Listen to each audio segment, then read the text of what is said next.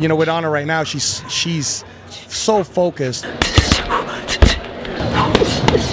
You know, as a fighter, you always want to be ready.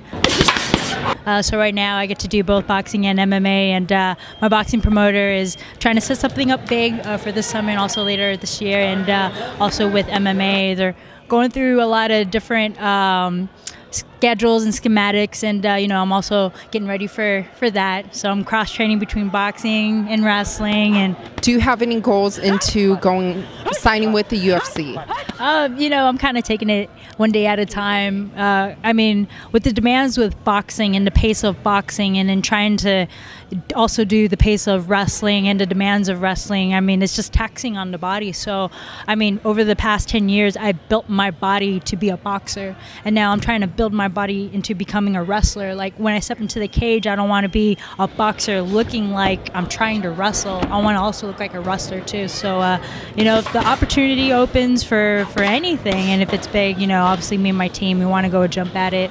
As a fighter, you want to go with the opportunities that's presented in front of you, and uh, just be ready what the future holds for her, I really don't know. I, you know, because what I know is that she's with the UFC's top grappling coach, and she's always training with all these UFC fighters, and she's in Vegas and.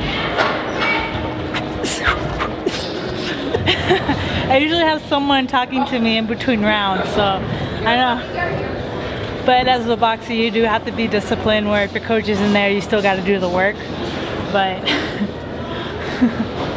don't try to hit and hold. Just shoot now. Okay? You just hit the hole, get out of the hole. Hit the hole, get out of the hole.